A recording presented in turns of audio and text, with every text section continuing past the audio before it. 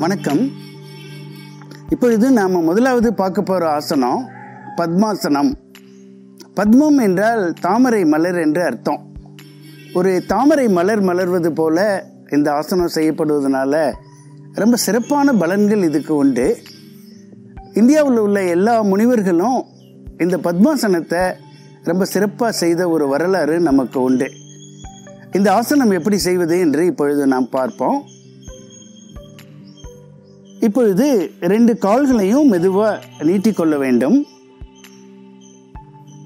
மெதுவாக வலது காலை பிடித்து ஒரு குழந்தையை தூக்குற மாதிரி மெதுவாக தூக்கி இடது தொடை மேலே வைக்கணும்.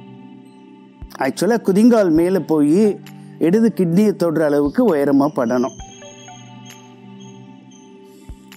இப்பொழுது கொஞ்சம் அப்படியே முதுகெலும்பு நேராக இருக்கிறத பார்க்குறோம் இப்பொழுது மெதுவாக இடது காலை பிடித்து வலது தொடை மேலே அப்படியே தூக்கி வைக்கின்றோம்.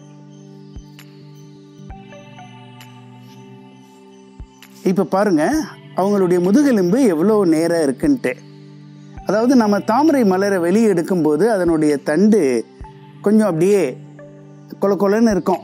நேரம் இருக்காது. ஆனால் தண்ணீரில் இருக்கும்போது அதனுடைய தண்டு நேரம் இருப்பது போல இந்த ஆசனத்தில் அமரும் பொழுது நம்முடைய முதுகந்தண்டு. மிக முக்கியமான ஒன்று நமக்கு. அது நேராக இருக்கிறத நம்மளால் பார்க்க முடிகிறது. இப்பொழுது அடுத்து அவர்கள் செய் செய்யப்போவது சின்முத்ரை ஏன்னா ஆசனத்தோட முதிரையை கலந்து செய்வது நமக்கு ஒரு நல்ல சிறப்பானது. இந்த ரெண்டு விரல்களையும் ஒட்டி வைத்து கொண்டு இந்த மூன்று விரல்களையும் ஒட்டி வைத்து கொண்டு உள்ளங்கை வானத்தை பார்க்குற மாதிரி முழங்கால்கள் மேலே வைத்து அவர்கள் சின்முத்திரையில் ஈடுபடுறாங்க. இந்த சின்முத்திரை என்பது மிகச்சிறந்த ஒன்று. இந்த ரெண்டு விரல்களும் ஒன்றுக்கொன்று தொடும்போது நம்முடைய மூளையில் உள்ள நியூரான்ஸ் கோடிக்கணக்கான நியூரான்ஸ் வந்து ரொம்ப சாஃப்டாக வைப்ரேட் ஆகுது. அதனால் நமக்குள்ளே இருக்கக்கூடிய வன்முறை குழப்பம் தீய எண்ணங்கள் எல்லாம் நீங்கி மன அமைதி பெறுவதற்கு இந்த சின்முறை ஒரு மிகச்சிறந்த ஒரு சின்முத்திரை நமக்கு ஒரு நல்ல உபாயம். மூன்றாவது அவர்கள் செய்ய போவது ஒரு நேரான பார்வை. அவர்களுடைய பார்வை வந்து ராஜ திருஷ்டி என்று சொல்லப்படுகிற ராஜ பார்வை. நல்ல கண்களை உயர்த்தி நேருக்கு நேராக நீண்ட தூரம் பார்க்கிறார்கள் அவர்கள். இது வந்து பார்ப்பது கிடையாது நோக்குவது உற்று நோக்குவது.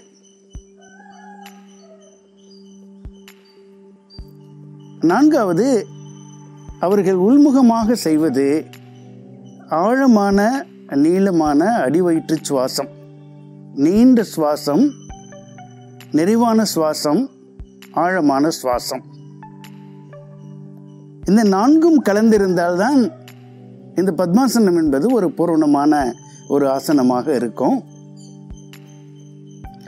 இந்த ஆசனம் நாம் செய்யும் பொழுது ஒரு நிமிடத்திலிருந்து பத்து நிமிடங்கள் வரை செய்யலாம். ஆரம்பத்தில் ப்ராக்டிஸ் பண்ணுறவங்க ஒரு நிமிடம் ப்ராக்டிஸ் பண்ணால் போதும். அப்புறம் கொஞ்சம் கொஞ்சமாக கொஞ்சம் கொஞ்சமாக அதோடைய நேரத்தை நம்ம இன்க்ரீஸ் பண்ணலாம். இதில் முக்கியமான பலன்கள் என்று நாம் சொல்லும்போது நம்முடைய முதுகந்தண்டு முதுகெலும்பு நேராக இருக்கும். ஏன்னா ஒரு மனிதனுடைய ஆயுள் ஒரு மனிதனுடைய ஆரோக்கியம் எல்லாமே அவனுடைய முதுகெலும்பினுடைய வலிமையை வைத்துத்தான் இருக்கிறது. எனவே முதுகெலும்பை வலிமைப்படுத்தக்கூடிய ஆசனம் இந்த பத்மாசனம். ரெண்டாவது நாம் வந்து பத்மாசனம் சிறப்பாக செய்யும் பொழுது நமக்கு அடிவயிற்றில் இருக்கக்கூடிய இந்த ஊளைச்சதை அல்லது கொழுப்பு எக்ஸ்ட்ரா ஃபேட் வந்து நல்லா கரைஞ்சிடும் அப்புறம் பின்னால் பிட்டத்தில் இருக்கக்கூடிய கொழுப்பும் நல்லா குறைவதற்கு அப்புறம் தொடையில் இருக்கக்கூடிய எக்ஸ்ட்ரா ஃபேட்டு குறைவதற்கு நல்ல வாய்ப்பு உள்ளது. மிகச்சிறந்த பலன்களை இந்த ஆசனம் நமக்கு தர வல்லது. கால் நரம்புகளை வலிமைப்படுத்தக்கூடிய தன்மை படைத்தது இந்த பத்மாசனம். இதோடைய முக்கியமான ஒரு தன்மை என்ன என்று பார்த்தீர்கள் என்றால் இவர்கள் ஏறக்குறைய நாற்பத்தஞ்சு டிகிரி கோணத்தில் உட்காந்துருக்கிறாங்க எகிப்தில் இருக்கிற பிரமிடு வந்து நாற்பத்தஞ்சு டிகிரி கோணத்தில் தான் கட்டப்பட்டிருக்கிறது. அதை உள்ளே வைக்கக்கூடிய பொருட்கள் ஆயிரக்கணக்கான ஆண்டுகள் அழியாமல் இருக்கிறத பார்க்குறோம். மூன்றில் ரெண்டு பங்கு உயரத்தில் எனர்ஜி கான்சன்ட்ரேட் ஆகும்னு சொல்லுவாங்க. அதே போல் நம்முடைய உடலில் இருக்கக்கூடிய பல உறுப்புகளை உள்ளுறுப்புகளை வலிமைப்படுத்தக்கூடிய ஒரு தன்மை படைத்தது இந்த பத்மாசனம். இவர்கள் காலை மடக்கி இருக்கிறதுனால இரத்த ஓட்டம் இப்பொழுது அவர்களுடைய அடி வயிற்று பகுதியில் நிறைந்திருக்கிறது. மிக முக்கியமான உறுப்புகளான நம்முடைய கல்லீரல். அது ஒரு பெரிய ரசாயன தொழிற்சாலை. நம்முடைய கல்லீரல் பித்தப்பை இடதுபுறம் இருக்கிற மண்ணீரல் நம்முடைய கணையம் வயிறு மற்ற சிறுநீரகங்கள் மற்ற கருப்பை பெண்களாக இருந்தால் கருப்பை அனைத்தும் வந்து வலிமை பெறக்கூடிய ஒரு நல்ல ஒரு வல்லமை படைத்தது இந்த பத்மாசனம். தினமும் நாம் ஒரு ஒரு நிமிடம் இந்த ஆசனத்தை ப்ராக்டிஸ் பண்ணிட்டு வந்தோம்னா இந்த ஆசனத்தில் கிடைக்கக்கூடிய பலன்கள் ஏராளம் ஏராளம். உளவியல் ரீதியாக இந்த ஆசனத்தை நம்ம செய்யும்போது நம்முடைய மனம் வந்து அமைதியாக அமைதி அடையும் அலை பாகின்ற மனது ஒழுங்குபடுத்தப்படும் சீரடையும்.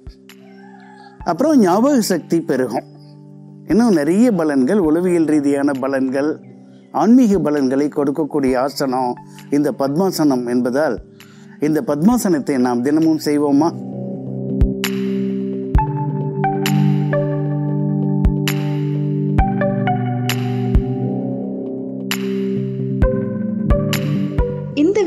உங்களுக்கு பிடிச்சிருந்ததுன்னா லைக் பண்ணுங்க. ரொம்ப பிடிச்சதுன்னா ஷேர் பண்ணுங்க. சேனலோட உடனடி அப்டேட்களை பெறுறதுக்கு உங்க யூடியூப் ஆப்ல இருக்கிற சகப்பு கலர் பெல் ஐக்கானை கிளிக் பண்ணி உடனே சப்ஸ்கிரைப் பண்ணுங்க.